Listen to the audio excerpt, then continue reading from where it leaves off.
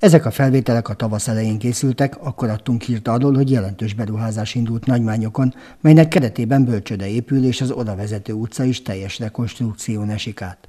Az akkori elképzelésekhez képest jelentős nehézségeket kellett leküzdenie a település vezetésének. De ennek már volt egy kivitelezője, aki elvonult, mert a általa megpályázott összegből nem tudta befejezni. Új, új közbeszerzést írtunk ki, van új kivitelezőnk, most nagy lendülettel végzi a munkáját. Már nem mindenki így látja, de én úgy gondolom, hogy ez a ütemtervnek megfelelő és, és jó munkát végez, szép munkát végez.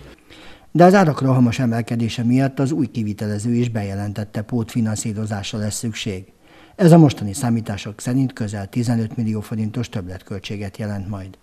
Emellett folyik egy útfelújítási program, melynek során az is kiderült, a közművek nem a dokumentáció szerint jelzett helyen vannak. Most kiástunk megint 100 métert, a házi bekötéseket már a kollégák befüzgélték, és ha jön a vizes csapat, akkor egy nap alatt ezt a szakaszt megszerik, ráhegeztik, kifertőtlenítik, és már estére van víz mindenhol, és akkor még lesz egy 100 méteres szakaszunk.